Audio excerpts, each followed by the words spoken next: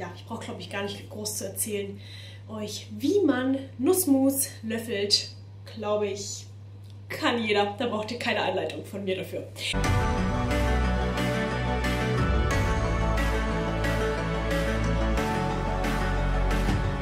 In diesem Video zeige ich dir, wie du dein eigenes Nussmus selber machen kannst. Diese Sachen kosten nämlich immer im Supermarkt sehr, sehr viel. Ich muss jetzt zugeben, es wird auch wenn du es selber machst, nicht das allerbilligste Health Food sein, aber es kostet auf jeden Fall weniger als im Supermarkt oder in deinem Bioladen. Und du weißt, was drinnen ist. Wir strecken es nicht mit ungesunden Fetten, Zusatzstoffen, machen es nicht länger haltbar und es wird super lecker schmecken. Das ist ein Grundrezept, was funktioniert für jede Nussart. Ob Mandeln, Haselnuss, Erdnuss, die bekannte Peanut Butter. Ihr könnt es mit allen möglichen Nusssachen kombinieren, ausprobieren. Was ich auch noch wichtig finde zu wissen, da habe nämlich ich am Anfang, bin da blöderweise reingetappt, weil es mir niemand gesagt hat.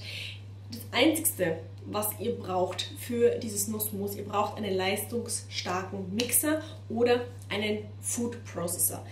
Ähm, mit dem Food Processor dauert es, dieser ganze Prozess, ein bisschen länger.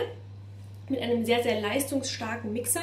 Der sollte 100, äh, 1200 Watt haben oder 2 PS funktioniert das super. Er sollte nicht weniger Watt oder weniger PS haben, sonst funktioniert es nicht mit dem Nussmus. Und bei einem Food Processor dauert der Prozess einfach ein bisschen länger, so glaube ich 10 Minuten oder so, bis sich das Nussmus gebildet hat. Ich hatte früher einen nicht so leistungsstarken Food Processor, da hat der ganze Spaß dann einmal auch 45 Minuten gedauert. Da dachte ich echt, irgendwas habe ich falsch gemacht. Also guckt, dass ihr einen leistungsstarken Food Processor habt. Welche ähm, Stärke der haben muss, kann ich euch jetzt gerade nicht sagen. Meiner war auf jeden Fall zu schwach. Also, aber der war auch nicht so teuer oder so. Das heißt, jeder teure Food Processor müsste es hinkriegen. Oder eben einen teuren, ähm, gescheiten Mixer, 1200 Watt oder 2 PS. Dann funktioniert auch euer Nussmus, damit ihr da nicht in irgendein Dilemma stößt. Noch ein Tipp von mir vorab, um natürlich eure Nüsse oder euer Nussmus besser verdaulich und leichter bekömmlich zu machen. Wie ich schon so oft erwähnt habe bei meinen selbstgemachten Brotvideos, ich würde euch wärmstens empfehlen, die Nüsse über Nacht einzuweichen, denn Antinährstoffe, leichter verdaulich, bla bla bla. Guckt euch einfach meine Brotvideos dazu an, da erzähle ich das schon wirklich in großem Detail. Es, macht euch, es tut euch einfach gut, wenn ihr einem Vorprozess diese Nüsse unterzieht. Müsst ihr nicht machen. Ist aber eine Empfehlung von mir, falls ihr zu den Leuten gehört, die irgendwie nach Nüssen echt ein schweres Gefühl im Magen habt oder generell schon Probleme habt äh, mit dem Darm oder schon diagnostiziert wurdet mit Leaky Gut oder ähnlichem, kann ich euch nur empfehlen, die Nüsse über Nacht einzuweichen und danach vielleicht im Ofen bei einer sehr geringen Hitze, vielleicht so 60 Grad, nicht mehr Ober-Unterhitze zu trocknen oder am besten, wenn ihr so einen Food Dehydrator habt, ich weiß gerade nicht, wie das auf Deutsch heißt, so ein, so ein äh, Dörrgerät, Dörrgerät. Wenn ihr ein Dörrgerät daheim habt, da einfach die Nüsse dann nochmal trocknen, bevor ihr sie in den Mixer tut. Ist ein extra Schritt. Ähm, müsst halt wieder einen Tag davor die Nüsse einweichen, aber macht es nochmal viel verdaulicher. Muss es nicht unbedingt sein, wäre aber eine Empfehlung von mir. Genau, jetzt fangen wir an mit dem Grundrezept. Sein Nussmus selber zu machen ist wirklich denkbar einfach. Alles, was ihr dafür braucht, ist eine Packung Nüsse eurer Wahl. Ich habe jetzt einfach Haselnüsse hier genommen, deshalb wird es ein Haselnussmus. Und ich benutze gleich mal die ganze Packung und die kommt jetzt einfach hier aufs Backblech.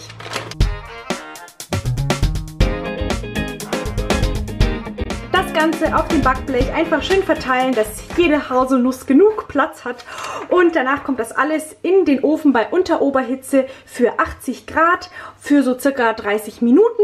Ihr könnt auch 90 Grad machen, einfach schauen, dass ähm, die Fette nicht anfangen zu oxidieren, also dass es quasi nicht anfängt zu dampfen. Also so zwischen 80 und 90 Grad unter Oberhitze in eurem Ofen.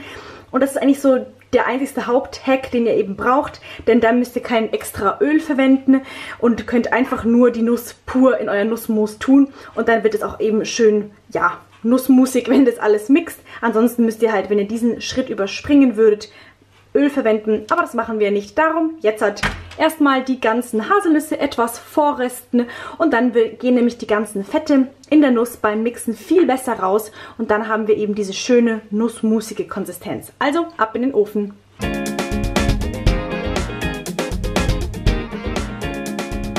Ich persönlich tue gerne noch die Schalen wegrubbeln von den Nüssen, dann schmeckt es, finde ich persönlich, noch besser. Müsst ihr nicht machen, aber ich habe die Schalen ganz gerne immer noch ein bisschen abgerubbelt davor. Ähm, jetzt nochmal ganz wichtig zum Sagen, ich habe auch keinen super leistungsstarken Mixer, darum habe ich, oder Food Processor, darum habe ich die jetzt eben 30 Minuten im Ofen gehabt. Falls ihr einen sehr schwachen Mixer oder Food Processor habt, dann lässt ihr einfach die ähm, für eine Stunde oder so im Ofen bei 100 Grad, also wie gesagt bis 100 Grad oxidieren sie nicht, denn dann müsst ihr nicht euren armen Mixer stundenlang am Strom angeschaltet laufen lassen. Also je schwächer euer Mixer, desto länger lässt ihr sie einfach im Ofen und je leistungsstärker, desto kürzer. Also falls ihr jetzt einen super krassen ähm, Profi-Mixer habt, dann reichen wahrscheinlich auch schon 10 Minuten im Ofen.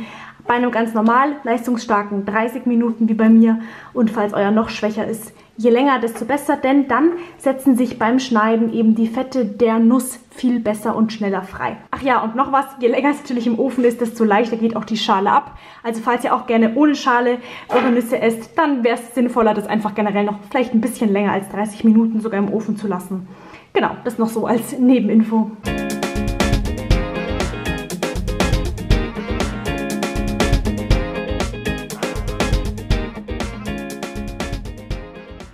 Und jetzt lassen wir das Ganze einfach, bei mir dauert es so, wie gesagt, 5 bis 10 Minuten maximal, meistens so 7, im Food Processor einfach laufen, bis es sich zu Mousse entwickelt hat. Am Anfang wird es eben Mehl und je länger man das eben äh, mixen lässt, desto mehr kommen die Öle raus und irgendwann haben wir dann ein leckeres Mousse. Also auf geht's!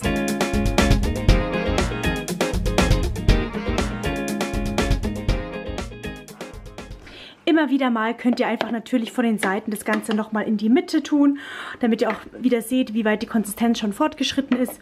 Und natürlich, dass sich alles gleichmäßig vermischt, aber ja, auch das ist optional.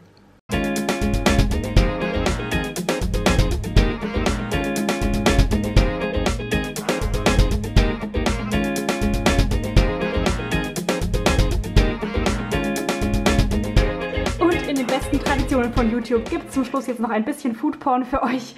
Ähm, ich muss wirklich sagen, also das ist nicht gelogen. Haselnussmus ist mein absolutes Lieblingsnussmus. Ich finde, es schmeckt noch viel, viel besser als Mandeln.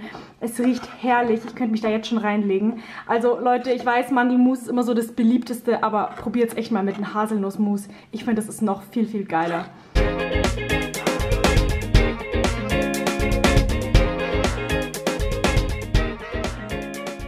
Und das Ganze könnt ihr einfach in den Kühlschrank stellen und dann hält es euch locker ein paar Wochen im Kühlschrank. Aber so lange hält es bei uns daheim nie durch.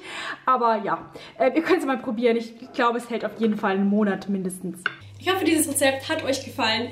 Wie gesagt, für was kann man Nussmus alles? Äh, was kann man Nussmus alles verwenden? Du kannst es zu jeglichen Dip-Sachen benutzen. Du kannst es dir als kleiner Snack dann mal auf die Banane schmieren ähm, wirklich die ein bisschen, bisschen Kakaopulver reingeben, dann schmeckt es schon wie ähm, Nutella fast, aber wie man Nutella selber macht, dazu habe ich auch schon ein Video hochgeladen auf diesem Kanal.